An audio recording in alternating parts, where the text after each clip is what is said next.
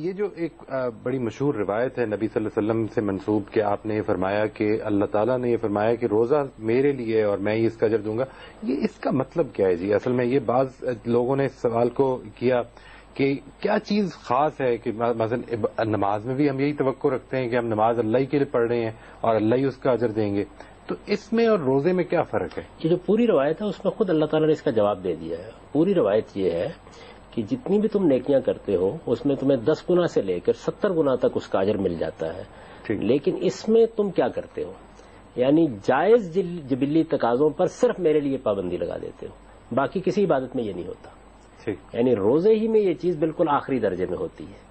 कि यहाँ असल में ऐसा नहीं है कि जो चीज़ें आपके अंदर दाइये की हैसियत से उठी थी आपने उनका इजहार कर दिया।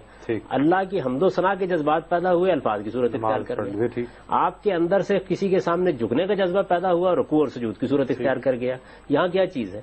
यानी आप खाना क्यों छोड़ दें? आप पीना क्यों छोड़ दें? सिर्फ़ खुदा का हुक्म है जिसकी बुनियाद पर छोड़ दिया जाता है। तो ये इबादत एक ऐसी इबादत है कि जिसके अंदर दर हकीकत आपके ऊपर एक ऐसी पाबंदी लगाते हैं, जिसके लिए कोई इल्म अकल के अंदर दाइया मौजूद नहीं सवाए खुदाई हुक्म के। आदमी बदकारी नहीं करता। खुदा भी कहता है, बदकारी ना करो। बदकारी ना करने के लिए बेशुमार अकली दाइयात मौजूद हैं। वो बयान किए जा सकते हैं। सवाल है, खाना ना खाने के लिए कौन सा दाइया मौजूद है? तो यहाँ सिर्फ़ खुदा का हुक्म है, जो बायस बनता है इस इबादत का। इस वजह से ये बयान किया गया कि चूँकि मेरा बंदा वो चीज़ें कि जिनको छोड़ने के लिए कोई इल्मी अकली दाइया मौजूद नहीं है, कोई मुहर्रिक मौजूद नहीं है, मेरे हुक्म पर छोड़ देता है तो आगे ये अल्फाज आए हैं कि ये जो रोजा है फ़ैनहू ली व अनाजी बही। ये मेरे लिए है और मैं ही इसका अजर दूँगा। मैं ही इसका अजर दूँगा का मतलब ये है कि जो अजर के अमूमी पैमाने हैं उनके मुताबिक तो नेकियों का अजर दे दिया जाएगा। मैं इसमें खास अपनी इनायत से जो चाहूँगा अपने बंदे को दूँगा।